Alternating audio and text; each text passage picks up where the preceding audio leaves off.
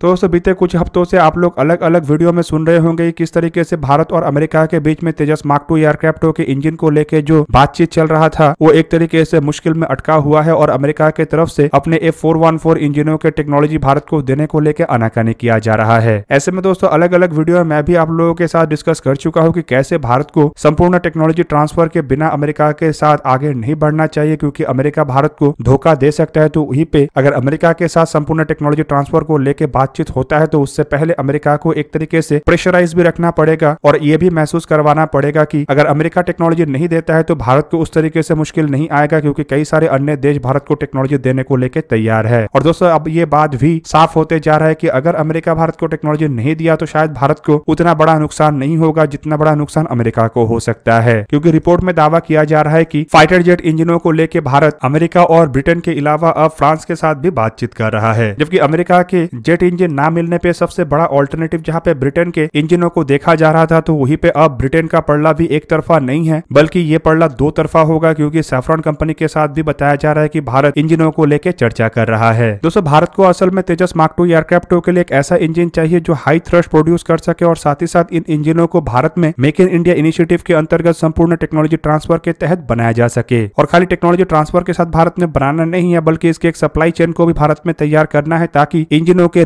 Replacement unit या फिर कहे तो स्पेयर पार्ट्स के सप्लाई भी बरकरार रहे, जिससे कि एयरक्राफ्टों के इंजनों के सर्विस भी भारत में ही हो सके और एयरक्राफ्टों के जो सर्विसबिलिटी या ऑपरेशनल एबिलिटी है, वो बरकरार रहे और ऑपरेशनल कॉस्ट भी इसका कम हो। ऐसे में दोस्तों, भारत जेट इंजनों को लेकर सबसे पहले अमेरिकी एफ़ फोर इंजनों को सिलेक्ट किया था, जो की पहले काफ़ी कम मात्रा में खरीदा जाना था, बोल के भारत की तरफ़ से केवल मात्र इसके वेट सेक्शन को ही भारत में टेक्नोलॉजी ट्रांसफ़र के अंतर्गत बनाने का बात कहा गया था, जबकि बाकी सेक्शन सब भारत में असेंबल होना था। पर अब बताया जा रहा है कि बड़े मात्रा में इंजनों को खरीदना है और इसी कारण भारत की तरफ़ से डील में बदलाव करने का बात रखा गया और वेट सेक्शन के साथ साथ इसके ड्राई सेक्शन मतलब इसके कोर और ब्लेड सेक्शन का भी टेक्नोलॉजी ट्रांसफ़र के साथ भारत में निर्माण होने का बात कहा गया है। अब अमेरिकी एडमिनिस्ट्रेशन मतलब बाइडेन एडमिनिस्ट्रेशन की तरफ़ से इसे लेकर अनाकानी किया जा रहा है और यही कारण की वजह से भारत फ़िलहाल तेजस एयरक्राफ्ट के प्रोजेक्ट को तेज रफ्तार में नहीं आगे बढ़ा रहा है, क्योंकि अगर टेक्नोलॉजी नहीं मिलता तो शायद इन इंजनों का इस्तेमाल भारत अपने तेजस मार्क टू एयरक्राफ्टों में ना करे। ऐसे में दोस्तों, अगर इन इंजनों का टेक्नोलॉजी भारत को नहीं मिलता है तो भारत को दोहरा नुकसान हो सकता है, जिनमें एक तो एयरक्राफ्टों के प्रोजेक्ट डिले होगा, जबकि दूसरी तरफ़ अगर आधे टेक्नोलॉजी के साथ भारत एयरक्राफ्टों के प्रोजेक्ट को आगे बढ़ाता है तो सप्लाई चेन में भारत का भूमिका कम रहेगा और एयरक्राफ्टों के ऑपरेशनल कॉस्ट बढ़ेगा। और अमेरिका के जैसे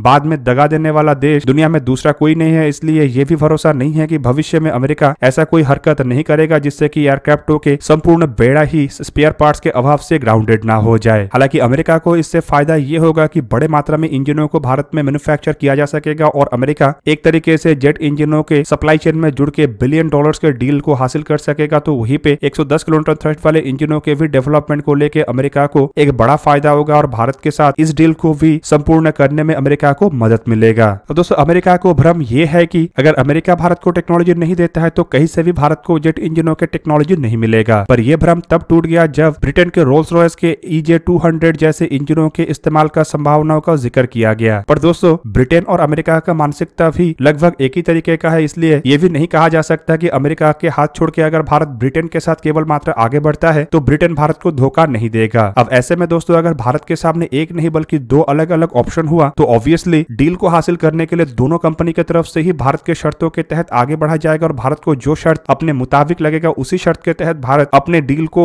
संपूर्ण कर सकेगा। रिपोर्ट में बताया जा रहा है कि अमेरिका के हरकतों को देखते हुए अब भारत, फ्रांस के साथ भी जेट इंजनों को लेकर चर्चा कर रहा है। दोस्तों गवर्नमेंट के अधिकारियों की तरफ़ से जानकारी दिया गया है कि एक तरफ़ जहाँ पे अमेरिका की तरफ़ से लगातार अपने दोगलेपन के बावजूद भी भारत को भरोसे में लेने का प्रयास किया जा रहा है और एफ़ फोर इंजनों को लेके बातचीत किया जा रहा है तो वहीं पे दूसरी तरफ़ इस दरमियान एएमसी एयरक्राफ्टों के इंजनों को लेकर फ्रांस के कंपनी सेफ्रॉन की तरफ़ से भारत के सामने एक बहुत बड़ा ऑफ़र रख दिया गया है। अब दोस्तों, ये जो इंजनों के प्रोग्राम है, ये भारत के भविष्य के लगभग सभी एयरक्राफ्टों के लिए महत्वपूर्ण इसीलिए है क्योंकि भारत बड़े मात्रा में एयरक्राफ्टों को अपने बेड़े में इंडिजीनियस तरीके से बना के शामिल करना चाहता है और भारत के पास फ़िलहाल इंजनों के, खुद के इंडिजीनियस टेक्नोलॉजी नहीं है। आप लोगों को यहाँ पे जान के रखना चाहिए कि तेजस मार्क टू एयरक्राफ्टों को इंडियन एयरफोर्स के बेड़े में साल 2028 तक शामिल करने का इरादा बनाया जा रहा है तो वही पे दूसरी तरफ़ एएमसी एयरक्राफ्टों का फ़र्स्ट फ़्लाइट आज से सात साल के बाद प्लान किया गया है, जबकि दस साल के अंदर इन एयरक्राफ्टों को भी इंडियन एयरफोर्स के बेड़े में शामिल करवाया जाएगा। अब दोस्तों, अमेरिका और फ्रांस का चर्चा इसीलिए हो रहा है क्योंकि माना जा रहा है कि प्रधानमंत्री नरेंद्र मोदी के इन दोनों देशों के दौरे के दरमियान जेट इंजन इंजन को लेकर अवश्य चर्चा होगा और इन दोनों दौरे के बाद भारत के जेट इंजनों के रास्ता कुछ न कुछ क्लियर अवश्य होगा। रिपोर्ट के मुताबिक प्रधानमंत्री नरेंद्र मोदी नेक्स्ट महीने मतलब जून महीने में जहाँ पे अमेरिका के दौरा करने जा रहे हैं तो वहीं पे जुलाई महीने में वो फ्रांस भी जाएँगे, जहाँ पे उन्हें फ्रांस के जो नेशनल डे है, उसके लिए चीफ गेस्ट के रूप में बुलाया गया है। अब दोस्तों, इन दोनों एयरक्राफ्टों के इंजन भारत के लिए अति आवश्यक इसलिए है क्योंकि बड़े मात्रा में तेजस मार्क टू एयरक्राफ्टों को प्रोड्यूस किया जाएगा और इन्हीं इंजनों का इस्तेमाल भारत एएमसीए मार्क वन एयरक्राफ्टों के प्रोटोटाइप और प्रोडक्शन वेरियंट से शुरू करके twin engine deck based fighter एयरक्राफ्टों में भी करेगा। मतलब इन इंजनों का टेक्नोलॉजी ट्रांसफ़र तो अति आवश्यक है, जबकि ए के लिए जो इंजन बनाया जाएगा, वो स्वदेशी तरीके से होगा और ये भारत के भविष्य को सिक्योर करेगा। और दोस्तों, भारत के पास अगर दो अलग अलग ऑप्शन रहा तो नेगोशिएशन को और आसान बनाया जा सकता है। मतलब अगर भारत अमेरिका से एफ़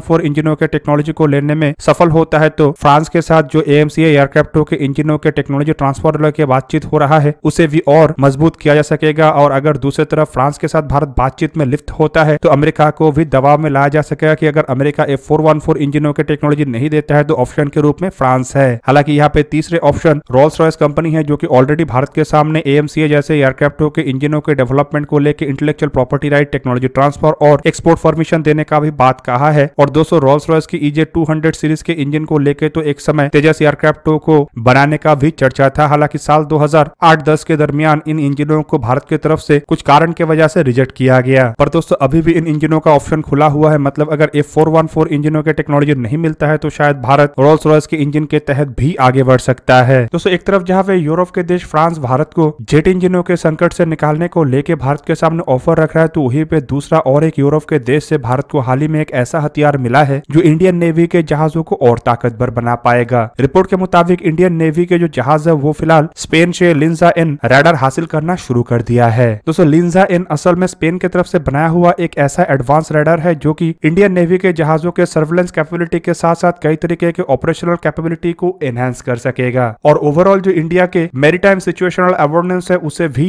मज़बूत कर सकेगा। दोस्तों लिंसा एम एक ऐसे रडार है जो कि हवा में उड़ने वाले ऑब्जेक्ट से शुरू करके पानी के ऊपर तैरने वाले जहाजों को ट्रैक कर सकता है और खाली दोस्तों ट्रैक नहीं बल्कि इसके रियल टाइम डेटा प्रोवाइड कर सकता है। और दोस्तों, इस तरीके के अन्य रडारों के मुकाबले में इसके डिटेक्शन रेंज भी काफ़ी अधिक है और ये रिलायबल इन्फॉर्मेशन प्रोवाइड कर सकता है। और दोस्तों, इससे इंडियन नेवी के जो जहाज़ है, ये दूर से ही अपने थ्रेट को देख सकेगा या फिर कहे तो जिन जहाजों के पीछे इंडियन नेवी के जहाजों को अपना मिशन को अंजाम देना है, उन जहाजों को दूर से ही ट्रैक करके लॉन्ग रेंज के मिसाइलों के सहारे उसे ध्वस्त कर सकेगा। अब दोस्तों, भारत के द्वारा स्पेन से जिन रेडरों को हासिल किया गया है रिपोर्ट में बताया जा रहा है कि इसका इस्तेमाल भारत अपने फ्रिगेट से शुरू करके डिस्ट्रॉयर इवन कॉर्बेट से शुरू करके पेट्रोल बोट और सर्वे वेसलों में भी करना चाहता है। बेसिकली दोस्तों, लगातार इंडियन नेवी को मॉडर्नाइज किया जा रहा है और इस मॉडर्नाइजेशन प्रोसेस के अंतर्गत जहाँ पे जहाजों को भारत में बनाया जा रहा है तो वही पे कुछ गिने चुने पार्ट ऐसा है जो भारत द्वारा अन्य देशों से खरीदा जा रहा है और दोस्तों, ऐसे पार्ट में सबसे बड़े पार्ट है इस तरीके का रेडार। हालाँकि दोस्तों, कई सारे अलग अलग टाइप के रडार भी भारत के द्वारा बनाया जा रहा है, जो इंडिजीनियस ऐसे जहाजों का पार्ट बन भी रहा है और बड़े मात्रा में इस्तेमाल भी हो रहा है। पर दोस्तों, जिस तरीके से यूरोप के देश अब लगातार भारत को अपने बेहतरीन से बेहतरीन हथियारों का सप्लाई कर रहा है, इससे एक बात तो साफ़ हो चुका है की इन देशों को भी महसूस हो गया की भारत को अगर स्ट्रॉन्ग नहीं किया जाता है तो आने वाले समय में डेमोक्रेसी खतरे में आ सकता है और जिस तरीके से चाइना जैसे देश लगातार अन्य देशों के इंडिपेंडेंस को खत्म करने के प्रयास में आगे बढ़ रहा है और इकोनॉमिकल और मिलिट्रीली वॉरफेयर छेड़ के रखा है